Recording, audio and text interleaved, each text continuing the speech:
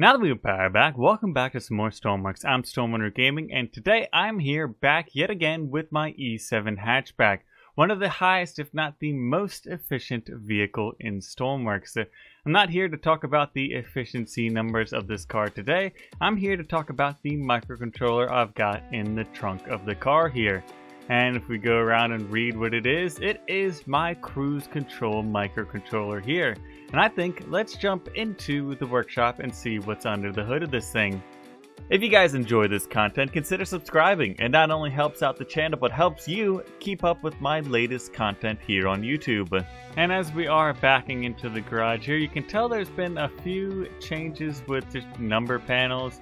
And I do also have a cruise control active light over there as well, just to tell me when I have it active or not. So we should be close enough to just grab it and throw it in here. Let's get our activate tool and go into the microcontroller.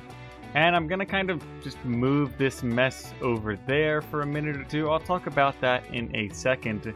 Let's just get a brief overview of what's happening with the main logic of this microcontroller here.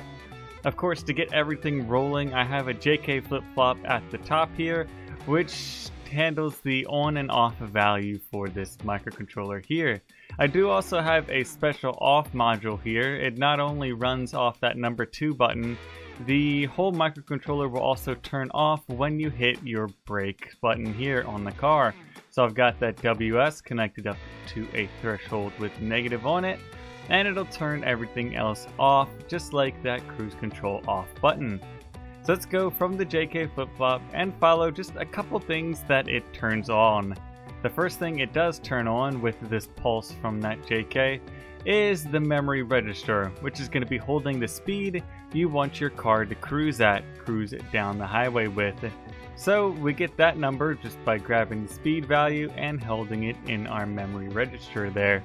I did add another feature to the microcontroller as well, and a lot of modern cars kind of have a similar feature, if not this exact thing. But my feature to it is you're able to increase and or decrease your speed by one with those three and four buttons while you're driving.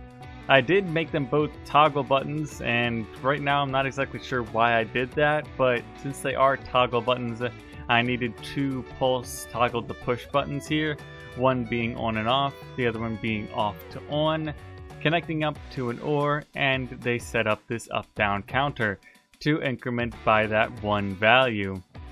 And that is connected up to our memory register for speed and sent over to the PID, the heart of this cruise control here.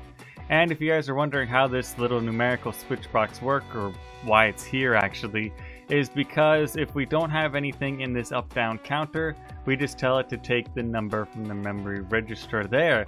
But if there is a number, you know, anywhere from 0.1 to 999 or from negative 999 to 0.1, it'll turn it on and switch it over. So it kind of just ignores the AND until we actually have a value in the up-down counter there. Moving on, we do have a couple just simple controls connected to our PID. But first off, of course, we have those three numbers, which it's kind of a funny story actually.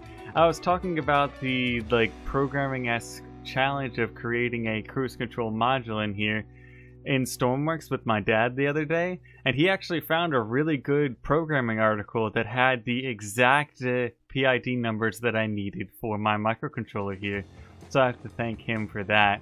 The only thing I did have to chain off of the PID to get the throttle for the engine here was I had to take the speed and divide it by the user requested speed here. That's just because the PID is not outputting a 0 to 1 throttle for our engine, it's outputting the speed relative to kind of try to get it up to speed, I guess. I don't know how to explain that exactly.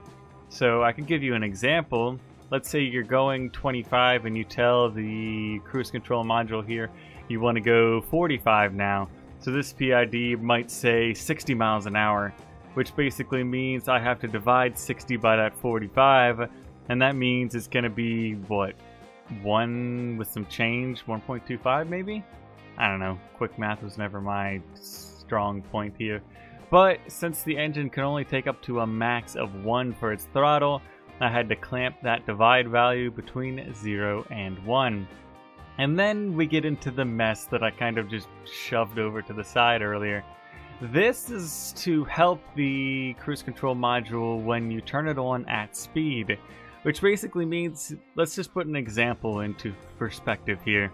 If you're going 30 miles an hour down the road and you turned on the cruise control module before I had all this mess down here, what would happen is the PID would start at zero and build up the RPS of the engine from there which what would happen with your car's speed was you'd go from 30 miles an hour, you'd dip down to maybe 10 miles an hour, and then you'd build up slowly from there until you hit that exact speed with your car. So what this kind of crazy system down here does is it takes a couple different measurements of speed and sees if you're going that fast, let's just say 25 miles an hour, and it'll hold the throttle of the engine at just a random number, maybe 50%, until the PID is higher than that number, and then the PID takes over to push it a little bit further. So I've done a, a couple different mile per hour numbers here. I've done 20, 25, 30, 40, and I think 50, because that's the highest the E7 can actually do. So this kind of just, like I said, holds the throttle until the PID catches up. So instead of the speed dipping from 30 going all the way down to 10, excuse me, dipping from 30 down to 10, maybe it'll dip from 30 down to 25 and then that PID will catch up and push you back up to 30. So it's not as much as a speed loss and it's not as noticeable as well from when you're driving it. When I didn't have the instruments telling me everything in front of my face, I didn't really notice that I decreased a little bit of speed before catching right back up to the exact speed. And this little setup right here on the left just holds the throttle at 25 as a baseline, so the engine does not stall out. Well, it actually holds the throttle at 25 before the PID catches up to it, because I think the engine did stall out once or twice on me before I had any of this started here, especially when I took it on uneven terrain. When it tried to go up a hill, sometimes the engine would conk out on me. And what I was talking about earlier with all the controls on my face, uh, something I like to do when I'm testing out microcontrollers is getting a lot of, you know, computer feedback from it with a couple different numbers here. So I'll connect up just a couple digital displays in front of my face while driving to tell me, I think I had PID number here.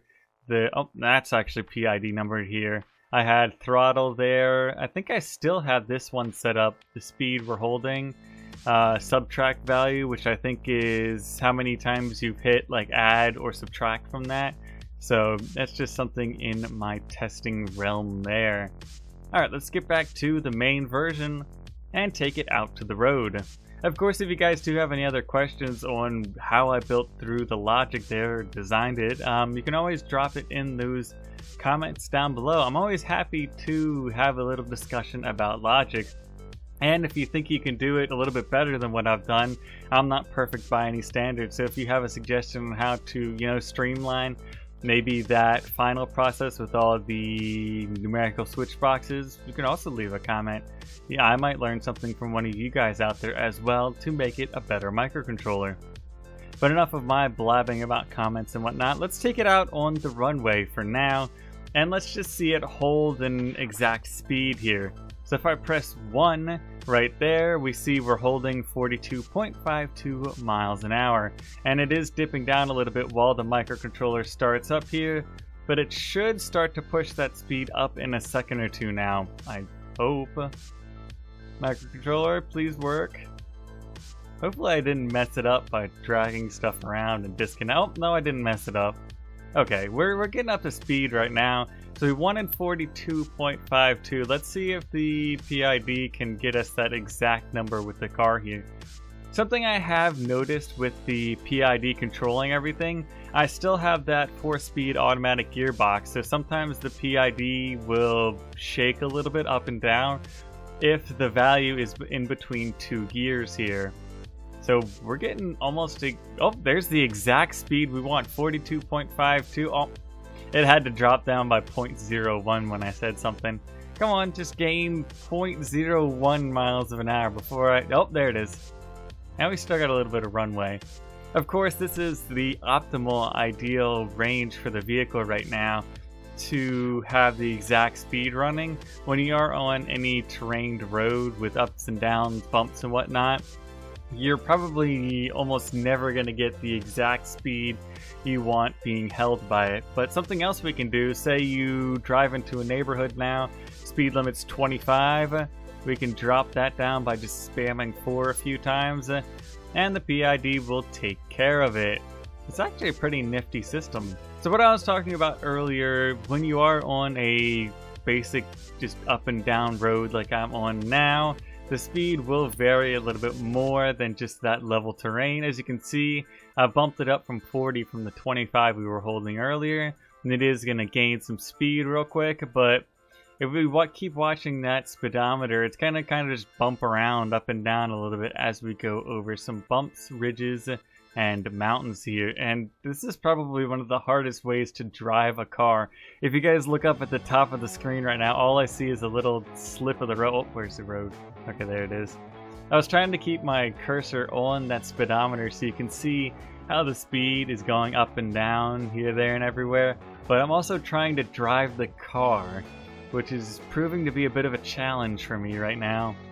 But as you can see, it's doing its best to keep us around the exact speed we asked for, but it's only so close to being perfect here. So yeah, that is my cruise control module or microcontroller here in Stormworks. If you guys do want to play around with it for yourselves, I'm going to put it as a standalone microcontroller on the workshop. I do have to add a quick note there, footnote, whatever you want to call it. This system only works for the E7 at the moment.